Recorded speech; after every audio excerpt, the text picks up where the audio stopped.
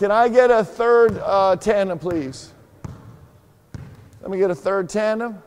Um, let me get uh, new ball handlers over here. New ball handlers. And we'll just do this. We'll just isolate the power play again. We'll isolate this power play over and over and over again because our schemes and our transition and our actions are good enough to earn us power plays every time. Let me get a ball handler right here. Let me get a defender right here on his hip. Let me get a dunker spot guy.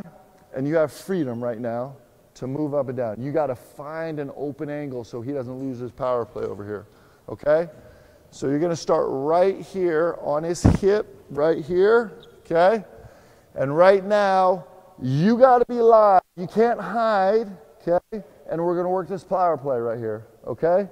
I want you to think about this and try and attack this as smartly as you can. Make them show their hand. Here we go.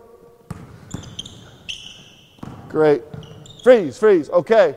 Excellent.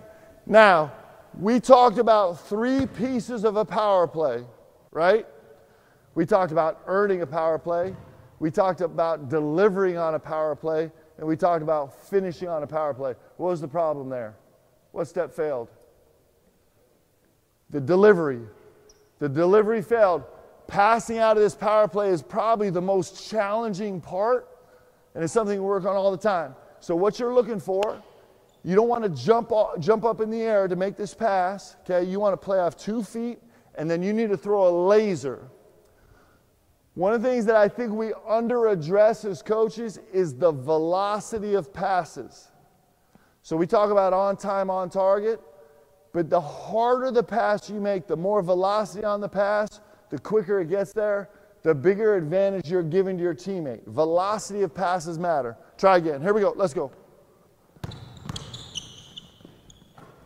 Good. I would like that to be more of a laser. Okay, that was kind of a duck. You know, ducks kind of flop around and float around. I wanted to be a laser. Go again. It was a good decision. Here we go. Excellent. Very nice. Very good decision. Excellent.